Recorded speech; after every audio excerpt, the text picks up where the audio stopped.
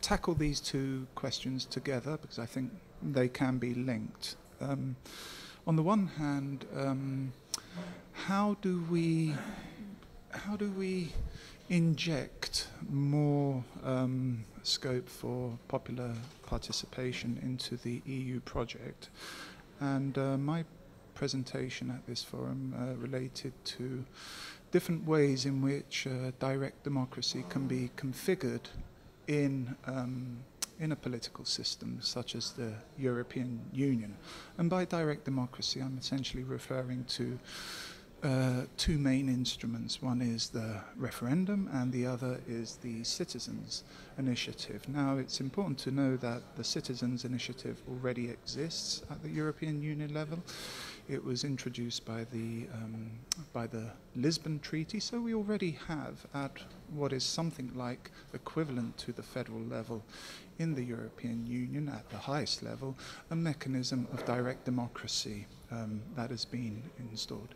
The other typical uh, mechanism of direct democracy, the referendum, um, is also instituted in uh, multi-level polities, uh, such as the European Union, typically federal systems. And the European Union does not have an instrument of federal-like level direct democracy presently. There is no such thing as an EU referendum. What do exist are referendums at the uh, sub at the member state level on EU level um, issues. So one idea that has been discussed by people is uh, the idea of instituting a, a European level referendum, a sort of pan-EU referendum on what would be the equivalent of constitutional change. So that would be um, instead of the kind of uh, unilateral referendums that are presently um, used to decide upon matters of uh, treaty change, to institute a European-wide referendum.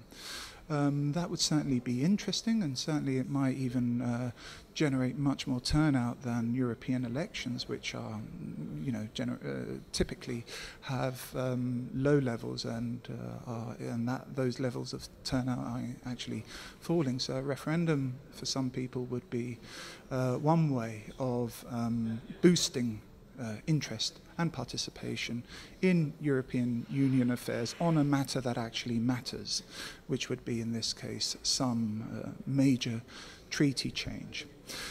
So uh, the point I want to underscore here is that dealing with direct democracy in a polity such as the European Union, um, in what I would call a multi-tiered polity, is something that the European Union has to deal with. Presently, the practice of direct democracy, especially those referendums on treaty change, are quite undemocratic and uh, unilateral. Uh, that provides the case for a European referendum. But there are also other referendums, such as those that take place in the regions. Uh, one just took place recently in Scotland on secession from, uh, from the UK. Now, such a move would, of course, have implications for the European Union because one would expect that Scotland would be a member of the European Union should it had if it had voted in favour of independence. Now, this poses a problem for the European Union because how do you deal with these uh, sort of uh,